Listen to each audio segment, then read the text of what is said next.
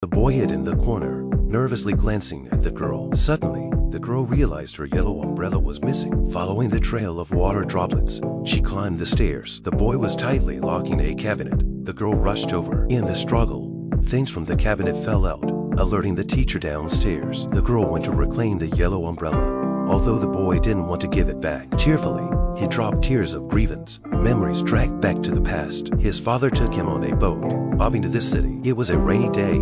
They begged, with no money to buy bread. Helplessly, his father sent him to the children's home. He tied the yellow scarf around him. After one last hug, he disappeared into the rain with the yellow umbrella, never to return. The girl listened and gave the yellow umbrella to the boy. Years passed. The boy grew up. He opened an umbrella shop. Suddenly, one day, he saw his father walking past the window with the yellow umbrella. He chased after him, his father disappeared again. The girl from years ago became his wife, accompanying him in long